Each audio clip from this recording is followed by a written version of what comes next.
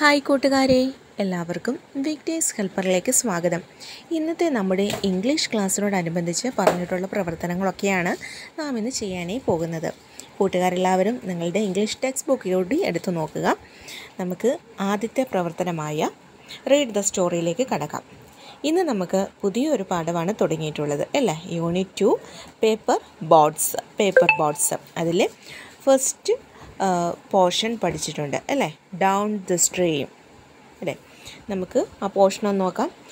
ഇത് കേട്ടതിന് ശേഷം കൂട്ടുകാരെല്ലാവരും ഈ പോർഷന് രണ്ടോ മൂന്നോ പ്രാവശ്യം വായിച്ചു നോക്കുക. അതിനുശേഷം നിങ്ങളുടെ ടീച്ചറിന് ഓഡിയോ ക്ലിപ്പ് അയയ്ക്കുക. അതാണ് നിങ്ങളുടെ ഫസ്റ്റ് ആക്ടിവിറ്റി നോക്കുക.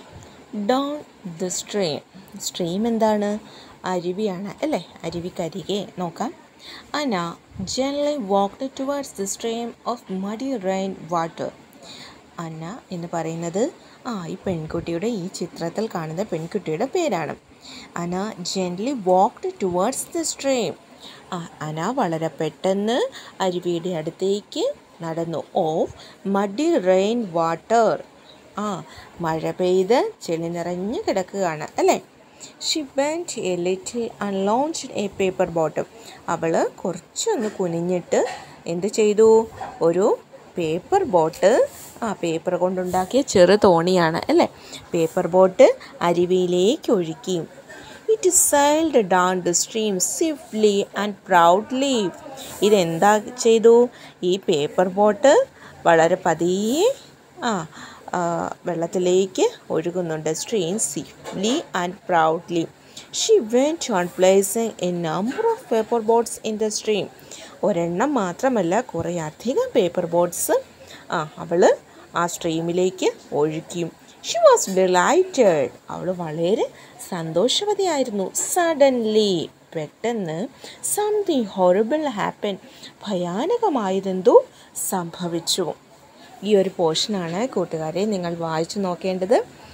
ഇനി നമ്മുടെ നെക്സ്റ്റ് ആക്ടിവിറ്റി നോക്കാം.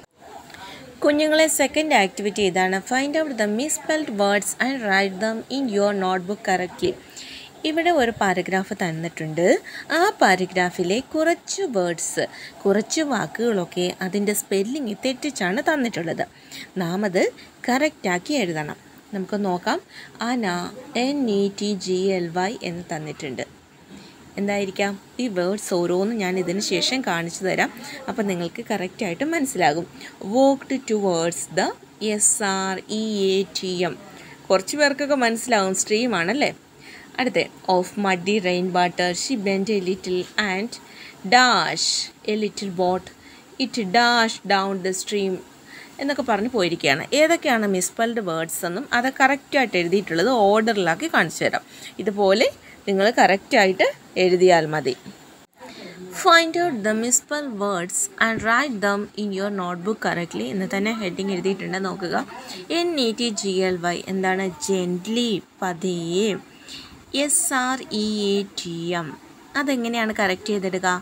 Stream S T R E A M stream അരുവി. H C U A L N E D ആ കുറച്ച് കൂട്ടുകാർക്കൊക്കെ കിട്ടിക്കാണും അല്ലേ? ലോഞ്ച്ഡാണ് ലോഞ്ച് ചെയ്യാന്ന് വെച്ചാൽ എന്താണ്? നാം റോക്കറ്റൊക്കെ ലോഞ്ച് ചെയ്യുന്ന കേട്ടിട്ടുണ്ട് അല്ലേ? എന്താണ് ലോഞ്ച്ഡ് അങ്ങനെ വിക്ഷേപിക്കുക എന്ന് പറയും. ഇതിപ്പോൾ പതിയെ വെള്ളത്തിലേക്ക് ഒഴുക്കിയെന്നാണ് launched L I F W S T Y swiftly swiftly പതിയെ. D L I G E T E D H delighted സന്തോഷത്തോടെ അല്ലേ? H R I O R E L B horrible horrible എന്താണ്? ഭയാനകം. കുഞ്ഞുങ്ങളെ നമുക്ക് നെക്സ്റ്റ് ആക്ടിവിറ്റി നോക്കിയാലോ? മക്കളെ അടുത്ത ആക്ടിവിറ്റി ഇതാണ്. Describe the given picture in your own words ഇവിടെ ഒരു പിക്ചർ തന്നിട്ടുണ്ട്. നാം കഴിഞ്ഞ വർഷമൊക്കെ ധാരാളം പിക്ചർ ഡിസ്ക്രിപ്ഷനൊക്കെ എഴുതിയിട്ടുണ്ട് അല്ലേ ഈ പിക്ചറിൽ എന്തെല്ലാം കാര്യങ്ങളാണ് കാണുന്നത്? അതിനെക്കുറിച്ചൊക്കെ നാം എഴുതണം അല്ലേ? നോക്കിക്കോളൂ ഒരു റിവറാണ് റിവറിന് സൺസെറ്റ് കാണാം. ബേർഡ്സ് ഒക്കെ ഫ്ലൈ ചെയ്യുന്നുണ്ട്. കുട്ടികളുണ്ട് അല്ലേ? ട്രീസ് ഉണ്ട്. അതുപോലെ തന്നെ പൂക്കളുണ്ട്. ഇതെല്ലാം നിങ്ങൾക്ക് കാണാൻ കഴിയുന്നുണ്ട് അല്ലേ? നമുക്ക് ഇതൊക്കെ നമ്മുടെ ഓൺ വേർഡ്സിലൊന്ന് എഴുതിയാലോ? ബാങ്ക് ഓഫ് ദ റിവർ എന്നാണ് ഹെഡിങ് കൊടുത്തിട്ടുള്ളത്. കുഞ്ഞുങ്ങൾക്ക് ഇഷ്ടമുള്ള ഹെഡിങ് ഒക്കെ കൊടുക്കാം കേട്ടോ. അടുത്ത നോക്കുക. This is the picture of the bank of the river ഇത് ഒരു നദിയുടെ തീരം. ബാങ്ക് എന്ന് വെച്ചാൽ എന്താണ്? തീരമാണ് കാണിച്ചിട്ടുള്ളത്. It is a sunset time time പറയണം. ഇത് ഏത് സമയമാണ്? കാണുമ്പോൾ അറിയാം. സൺ ഇങ്ങനെ താഴേക്ക് പോകുന്നതായിട്ട് നമുക്ക് കാണാം അല്ലേ? അങ്ങനെ നമുക്ക് തോന്നും.